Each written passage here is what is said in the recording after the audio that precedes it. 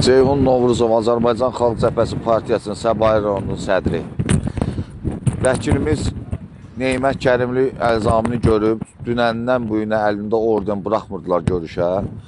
Bu günləri bir bəla ilə girdik görüşə. Əlzamin bildirib ki, Salyana getmək üçün şəhərdən taksi sifariş eləyib, gəlib Lökbatan dairəsinə. Lökbatan dairəsindən düşən kimi bir nəfər buna hücum eləyib, nə layiq söyüşlərlə, zadla bıçaq Əlzamin üstünə bıçaq çıxardanda Əlzamin bunu sadəcə itələyib və görüb təxribatdır, qaçmağa başlayıb. Hələ qaçarkən 10-15 nəfər düşüb üstünə tutub gətiriblər Qaradağ rayon polis idarəsinə. Əlzamin belə bildirib bizə. Hal-hazırda da çıxardıblar məhkəməyə 221.3 ilə xuliqanlıqla. İndi həbs qəti imkan tədbiri verirlər. Hal-hazırda çəkin göstərin. Burada elə bilin ki, hansısa terroristi gətiriblər. Dolublar yenə polislər bura. Bizi də yaxın buraxmırlar.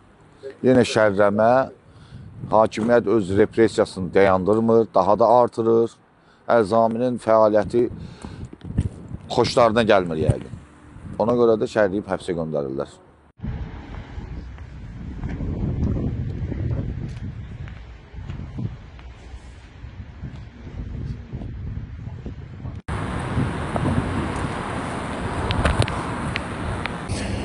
Bu gün məhz hüquqlarımı müdafiə etdim.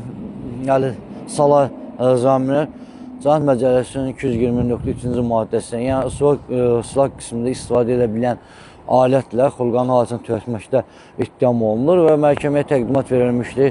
Həbs qətimkan tədbirinin seçilməsi barəsində 100 ay müddətinə həbs qətimkan tədbiri seçdilər. O məhkəmə bildirdi ki, tamamilə şərdir, böhtandır. Onun yalnız yəni siyasi fəaliyyəti ilə bağlıdır və hadisə bağlı o e, istintaqda heç bir ifadə verməyib. Məhkəmənin ifadəsində bildirdi ki, məhz o rayona getmək üçün Lökbətan dairəsində e, taksidən düşmüş. E, bu vaxt e, getmək istərkən bir nəfər yaxınlaşmış kobud ona söyüşlər e, bildirmişdi. O demişdi mənimləsən və həmin vaxt görmüş ki, artıq qolunun altından bıçaq çıxardır, onu vurmaq istəyir və itələyib qaçmışdı. Qaçmaq istəyərkən artıq onlar adam gəldi, məni dərhal həbs edilər. Yəni qabaqcadan qurulmuş bir ssenari idi. Bu cür məhkəmədə bildirdi e, və birmənalı şəkildə siyasi fəaliyyətimlə bağlıdır. bağlıdır. İkincisi o elan edir ki, aclıq aksiyasına başlayıb. Bu qədər.